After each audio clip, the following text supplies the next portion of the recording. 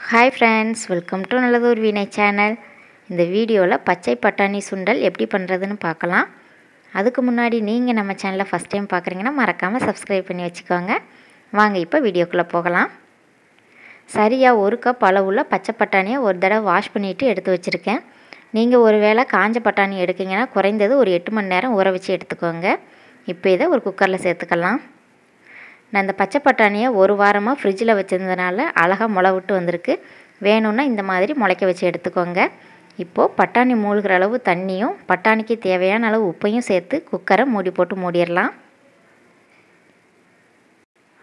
இப்போது stove on பண்ணி low ஃப்ளேமில் ஒரு ரெண்டுலேருந்து மூணு விசில் விட்டு எடுத்துக்கலாம். ஒருவேளை காஞ்ச பட்டாணியை அவிக்கிறீங்க அப்படின்னா அஞ்சு விசில் கிட்ட விட்டு எடுத்துக்கோங்க. அழகாக பூ போல் வெந்து வந்துடும் மூணு விசிலுக்கு அப்புறமா குக்கரை ஓப்பன் பண்ணி பார்க்கும்போது நம்மளோட பச்சை பட்டாணி ரொம்ப சூப்பராக வெந்து வந்திருக்கு பாருங்கள் இப்போ இதை வேறு பாத்திரத்துக்கு மாற்றிக்கலாம் அடுத்ததை நாம் சுண்டல் செய்யலாம். அதுக்கு ஸ்டவ்வில் கடாய் வச்சுருக்கேன். கடாய் சூடானதும் அதில் ஒரு ஸ்பூன் அளவு எண்ணெய் சேர்த்து காய விட்டுறலாம்.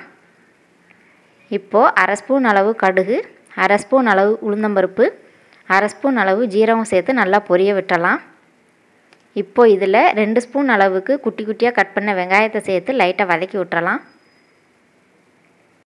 அடுத்ததாக ரெண்டு வரமிளகாவையும் ஒரு கொத்து கருவேப்பிலை இலையும் சேர்த்து வெங்காயம் நல்லா கண்ணாடி பதம் வர்ற வரைக்கும் நல்லா வதக்கி விட்டுக்கலாம். வெங்காயம் நல்லா இந்த அளவு வதங்கி வந்ததும் நம்ம வேக வச்சு வடிகட்டி வச்சுருக்கிற பச்சை பட்டாணி இதில் சேர்த்துக்கலாம். பச்சை பட்டாணியில் ஏதாவது தண்ணி இருந்தால் அது வத்துற அளவு நல்லா மிக்ஸ் பண்ணி விட்டுக்கலாம்.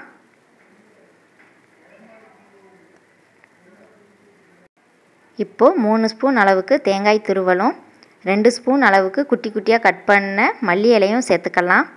நம்ம ஆல்ரெடி பச்சை பட்டாணியில் உப்பு சேர்த்துருக்கோம். நம்ம எக்ஸ்ட்ரா சேர்த்த பொருளுக்காக கொஞ்சமாக உப்பு சேர்த்து நல்லா மிக்ஸ் பண்ணி விட்டுக்கலாம். நீங்கள் விருப்பப்பட்டால் இதில் துருவன கேரட் அப்புறமா மாங்காய் சேர்த்து நல்லா மிக்ஸ் பண்ணி விட்டுக்கிட்டால் டேஸ்ட் இன்னுமே அருமையாக இருக்கும். எல்லாம் ஒன்று சேர்ந்து வர்ற மாதிரி நல்லா மிக்ஸ் பண்ணிவிட்டு ஸ்டவ் ஆஃப் பண்ணிடலாம் அவ்வளோதான் நம்மளுடைய பச்சை பட்டாணி சுண்டல் ரொம்ப சூப்பராக ரெடி ஆயிடுச்சு இது ஒரு நல்ல ஹெல்த்தியான ஈவினிங் ஸ்நாக்ஸ் இதே மாதிரி நீங்களும் ட்ரை பண்ணி பாருங்கள் இந்த வீடியோ உங்களுக்கு பிடிச்சதுன்னா லைக் பண்ணி ஷேர் பண்ணி மறக்காமல் நல்லதொரு வினை சேனலுக்கு சப்ஸ்கிரைப் பண்ணுங்கள் தேங்க்யூ